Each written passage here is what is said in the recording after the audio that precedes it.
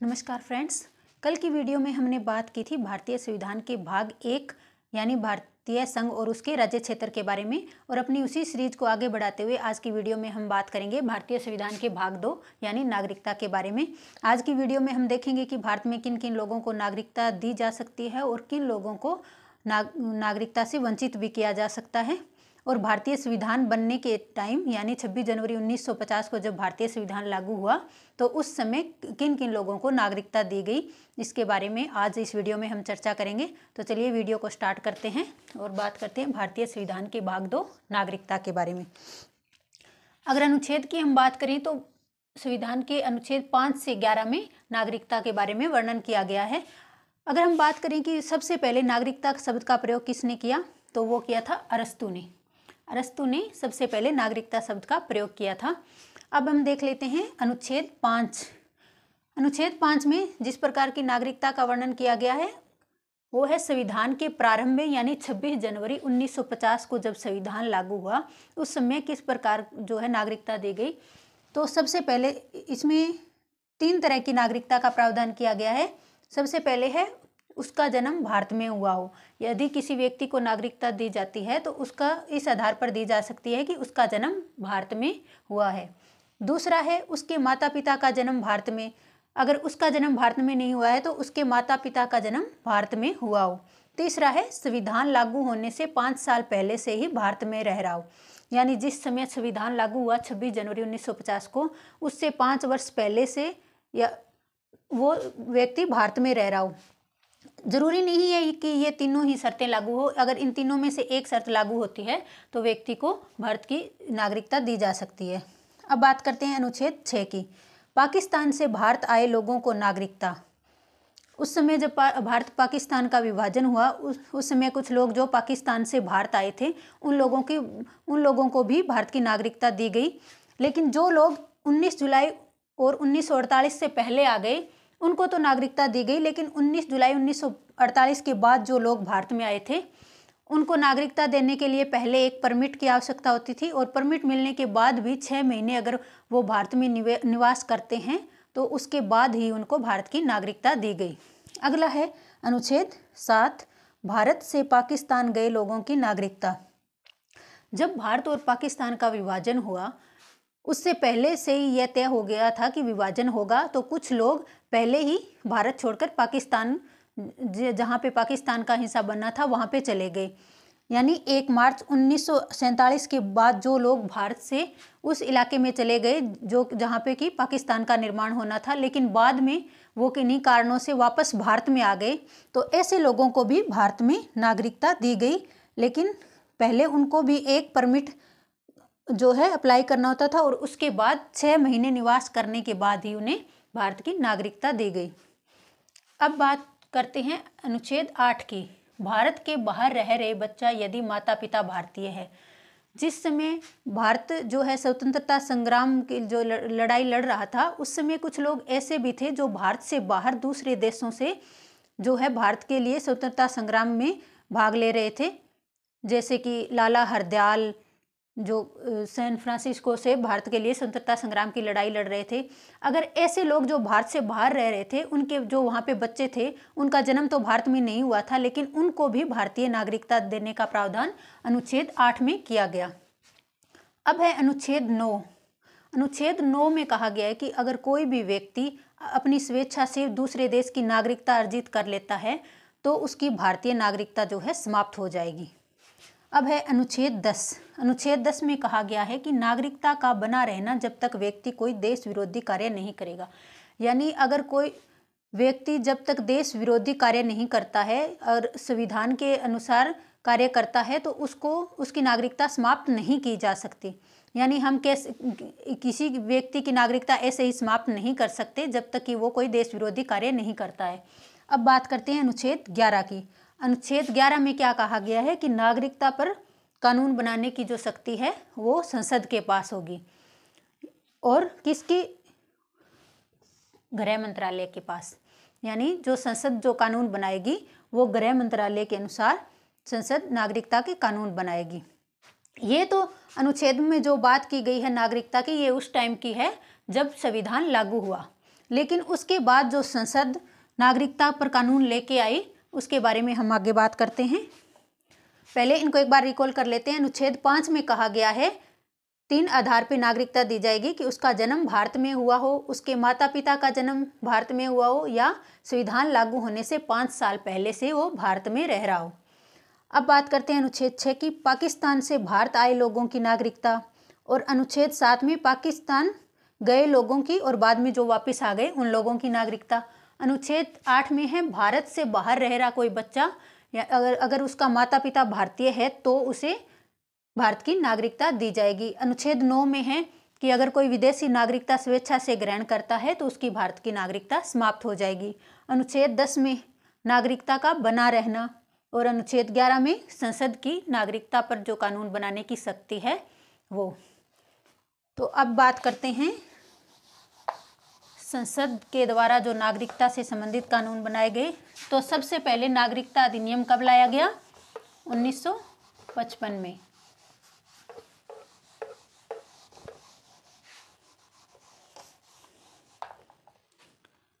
सबसे पहले नागरिकता अधिनियम।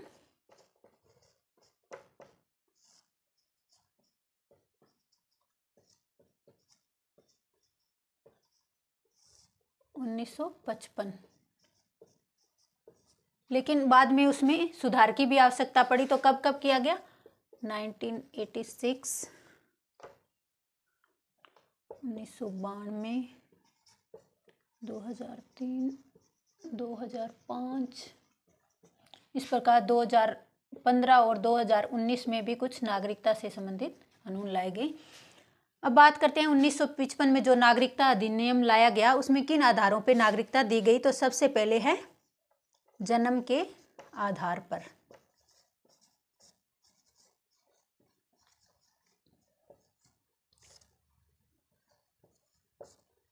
नागरिकता अधिनियम 1955 में जो सबसे पहले जन्म के आधार पर नागरिकता दी गई, उसमें कहा गया कि अगर कोई भी व्यक्ति भारत में जन्म लेता है, कोई भी बच्चा तो उसको भारत की नागरिकता दी जाएगी।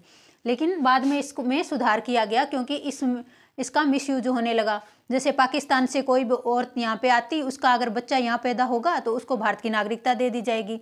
तो इस तरह से वो बच्चा बड़ा होके चाहे आतंकवादी भी बन सकता है तो इस प्रकार इसका मिसयूज होने लगा। तो उन्नीस सौ छियासी में इसमें सुधार किया गया और कहा गया कि अगर किसी बच्चे का भारत में जन्म होता है तो उसे तभी नागरिकता दी जाएगी जब उसके माता पिता में से एक के पास भारत की नागरिकता होगी। लेकिन बाद में क्या हुआ? इसमें भी सुधार किया गया था, इसमें सुधार किया गया था 2003 तीन में। क्योंकि जब भी कोई और पाकिस्तान से जैसे कोई व्यक्ति आया और उसने यहाँ पे आकर शादी कर ली और शादी करने के बाद अगर जो वो लड़की है तो उसको तो भारत की नागरिकता प्राप्त होगी। तो अगर उसका बच्चा है तो उसको भी नागरिकता मिल जाती। तो इसका भी मिस होने लगा। तो 2003 में क्या किया गया? माता और पिता दोनों के लिए वैलिड कर दिया गया। यानी एक को अगर भारत की नागरिकता है तो दूसरे के पास इसका वैलिड प्रूफ होना चाहिए। ऐसे नहीं है कि कोई व्यक्ति पाकिस्तान से यहाँ घूमने आया, शादी कर ली, अगर छः महीने रहा और उसके बाद अगर वो बच्चा होता है तो उसको नागरिकता मिल जाएगी। ऐसा नहीं है। इसके लिए वैलिड प्रूफ की आवश्यकता है। दूसरा है, वंश के आधार पर।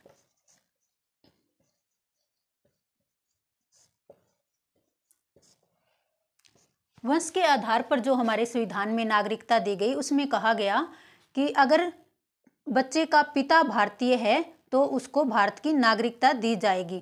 लेकिन बाद में महिलाओं ने इस पर सुप्रीम कोर्ट में केस कर दिया कि ये अगर हमारे संविधान में समानता का अधिकार दिया गया है तो अगर ये वंश के आधार पर दिया जाएगा तो ये हमारे साथ असमानता होगी। तो बाद में इसमें भी सुधार किया गया और उन्नीस बानवे में ये सुधार किया गया जिसमें कहा गया कि माता पिता दोनों को ही अगर वंश के आधार पर नागरिकता दी जाएगी तो इसके लिए पिता को सिर्फ़ नहीं माना जाएगा। माता अगर भारतीय है तो भी वंश के आधार पर नागरिकता दी जाएगी। तीसरा है पंजीकरण के आधार पर।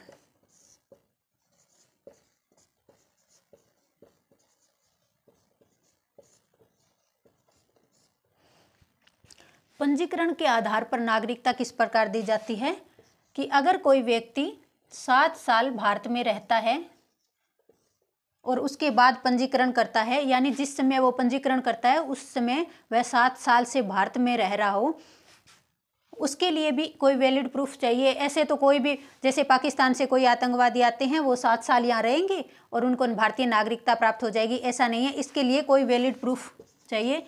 या तो उसने भारत में आके किसी भी भारतीय के साथ शादी कर ली हो, या फिर वह, वो यहाँ पे क्या काम करता है, उसकी पूरी जानकारी गृह मंत्रालय में दी जाएगी। उसके बाद ही गृह मंत्रालय ये तय करेगा कि उसको भारत की नागरिकता दी जाएगी या नहीं। चौथा है, देशीकरण के आधार पर।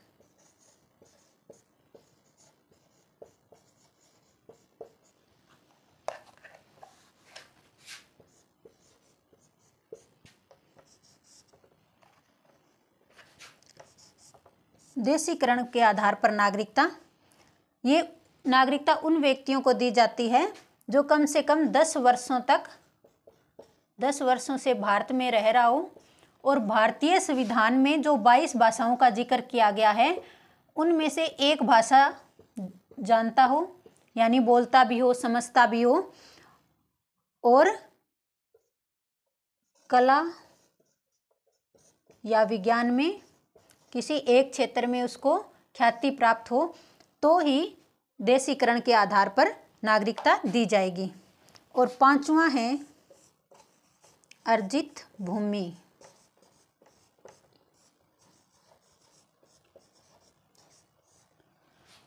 यदि भारत किसी भी क्षेत्र पर अपना कब्जा स्थापित कर लेता है तो वहाँ के नागरिकों को भी नागरिकता दी जाएगी, भारतीय नागरिकता दी जाएगी। जैसे अगर हम बात करें उन्नीस सौ बासठ में जो पाडिचेरी का यानी अब इसका क्या नाम है? पुदुचेरी। पुदुचेरी का जब भारत में विलय किया गया तो उसको 1900 वहाँ के नागरिकों को 1955 के अधिनियम के तहत 1955 के नागरिकता अधिनियम के तहत उन्नीस सौ बासठ में नागरिकता जो है, भारत की नागरिकता दे दी गई। और इसी तरह सिक्किम की अगर बात करें तो 1975 से पहले सिक्किम क्या था? भारत का हिस्सा नहीं था। और 1975 के बाद जब भारत सिक्किम भारत का हिस्सा बन गया सिक्किम तो वहाँ के नागरिकों को भी भारत की नागरिकता दे दी गई। अब बात करते हैं कि किन किन आधारों पर नागरिकता से वंचित भी किया जा सकता है। तो आपने देखा कि पाँच आधार ऐसे हैं जिन पर नागरिकता दी जा सकती है। अब उन तीन आधारों की बात करते हैं, यानी तीन आधारों पर वंचित भी किया जा सकता है। सबसे पहले है त्याग।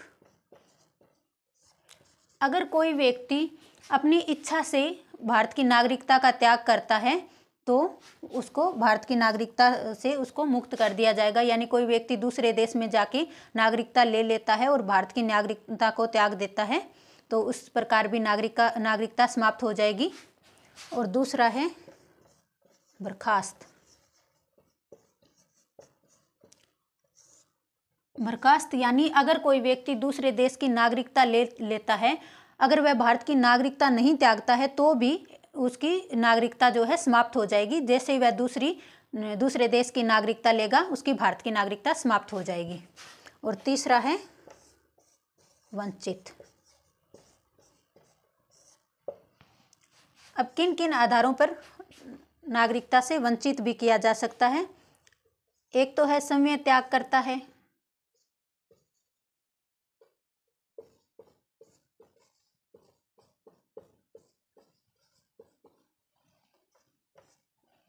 और दूसरा अगर वो वे कोई व्यक्ति संविधान के प्रति अनादर जताता है तो भी उसकी भारत की नागरिकता समाप्त कर दी जाएगी। अगर युद्ध वगैरह चल रहा हो उस समय अगर कोई व्यक्ति शत्रु देश के साथ संबंध स्थापित करता है या फिर उसे रा, राष्ट्र विरोधी कोई सूचना देता है तो भी उसकी देश की नागरिकता जो है समाप्त हो जाएगी। अब बात करते हैं भारतीय जो नागरिकता है, यानी भारत में किस प्रकार की नागरिकता का वर्णन है तो वो है एकल नागरिकता। यानी भारत में जितने भी लोग रहते हैं, उनको एक ही तरह की नागरिकता प्राप्त है, वो है भारतीयता। यानी ऐसा नहीं है कि कोई व्यक्ति हरियाणा, पंजाब या उत्तर प्रदेश कहीं भी रह रहा है तो उसको उस राज्य की नागरिकता प्राप्त नहीं होगी। उसे केवल एक प्रकार की नागरिकता दी जाएगी और वो है भारतीय नागरिकता। जैसे कि अगर हम अमेरिका और स्विट्जरलैंड में देखते हैं तो वहाँ पर एक तो उनको अपने देश की नागरिकता प्राप्त है, जैसे कि अमेरिका के लोगों को अमेरिका की नागरिकता भी प्राप्त है और उस राज्य की नागरिकता भी प्राप्त है, जिस राज्य में वो रहते हैं। लेकिन भारत में ऐसा नहीं है। भारत राज्यों का जो संघ है, उन्हें राज्यों को प्रशासनिक सुविधा के लिए बांटा गया है, न कि वहाँ की नागरिकता लोगों को दी गई है। तो भारत में सिर्फ़ एकल नागरिकता है, वो है भारतीय नागरिकता। तो आपको हमारा ये वीडियो कैसा लगा? आपको ये जो नागरिकता का पाठ है, अच्छे से समझ में आ गया होगा। तो वीडियो कैसा लगा, ये हमें कमेंट करके बताएँ और हमारे चैनल को भी सब्सक्राइब करें। धन्यवाद।